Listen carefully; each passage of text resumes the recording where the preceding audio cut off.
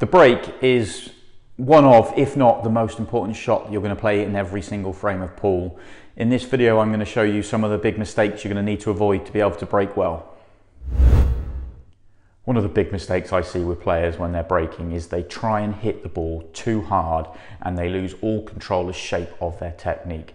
Yes, breaking the balls is all about power. We are trying to hit the pack as hard as we can. We're trying to hit the cue ball hard to be able to open up the pack. But if you try and hit it too hard, you reach back, you lose all your shape you lose complete control of your technique and you miss strike that cue ball because you've tried to hit it too hard, then you're not going to have the contact on the pack that you need. You're not going to get the power going through your pack and it's going to be a complete waste.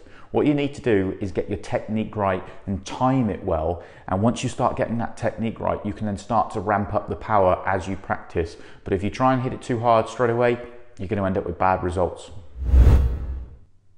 Where you place the cue ball is really important. I see way too many players just grab the cue ball, place it somewhere on the break line, and then get down on the shot. The problem is, if you put the ball on the break line and you don't have a cue action that can reach the break line, by the time you're actually past your sweet spot of the, the, the cueing action at the moment of impact, so you're almost decelerating at the moment of impact, which is no good, and you're not going to get a good quality of strike.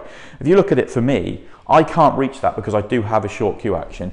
If you look at how far forward my hand, my cue and my arm have to be at the moment of impact, it's past the, the, the perfect point of contact. So for me, I actually have to bring the cue ball back almost two inches to make sure that when I strike the cue ball, it is at the optimum position on the table um, and it's in the sweet spot of my cueing action. If I have it all the way forward, um, it's just going to be a disaster for me. So you have to play around with your, your own technique. You have to find out what the sweet spot is for you, but don't just grab the cue ball and place it on the line as a matter of habit because it may be doing you a lot more harm than good.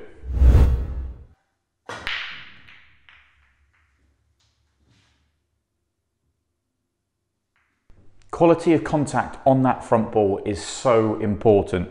If you, if you don't catch that front ball full, the power that you generate on the break isn't going to go through the pack. If you catch it half ball, only half of that power actually goes through the pack. So all that time trying to hit the ball as hard as you can to generate that power through the pack is going to be completely gone. You have to try and get that good quality of contact on the front ball to be able to split them properly.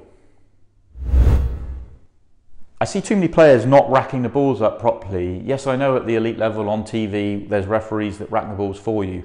But in nearly every other tournament you're going to play in or practice match, whatever it might be, you rack your own balls. And if you don't rack them correctly, you're already starting at a disadvantage. Because if you don't manage to get all the balls touching, then the balls aren't going to break open. You have to really take your time, place the balls in the right place, and then make sure, push them up, make sure that all the balls are touching so that when, the, when you contact the pack, they'll open properly. If there's any gaps in the pack here, they'll just not open it. It will be what we call a dead pack. So really take your time, make sure you get the perfect rack so that when you break them, they will open up properly.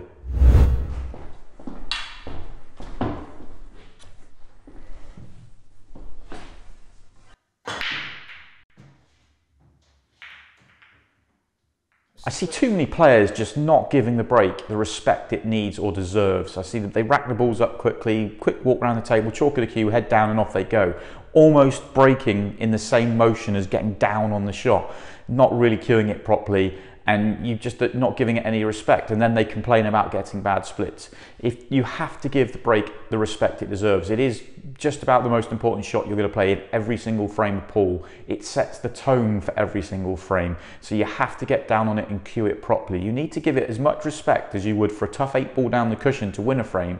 You have to give it that level of respect. Otherwise you're just going to end up with terrible splits just like I have here. Give the break the respect it deserves I see a lot of players lose control of the shape of their body because of their head. If their head starts to move, then the rest of the body has to move as well. Then your technique is completely shot. And if you're moving on the shot and your technique goes, you cannot get good quality of contact on the cue ball, which means you have no chance of contacting that pack well. The minute you start moving on the shot, it's just impossible to consistently do it. I see a lot of players, they get themselves nicely in for the break, but then they're reaching for extra power, their head moves. And you see, if my head moves, the rest of my body has to follow. And if that happens, you just can't consistently get the contact. What you have to try and do, I know you're reaching for extra power, but you have to try and keep that head still to allow your technique to stay in, in complete control. And then drive the power through the pack